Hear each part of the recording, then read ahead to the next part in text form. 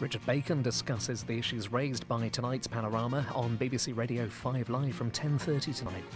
Take a leap into the wild next on BBC One. Prepare to be amazed by a spellbinding new series. Life is full of surprises, and that cheetah's about to show you a TV first.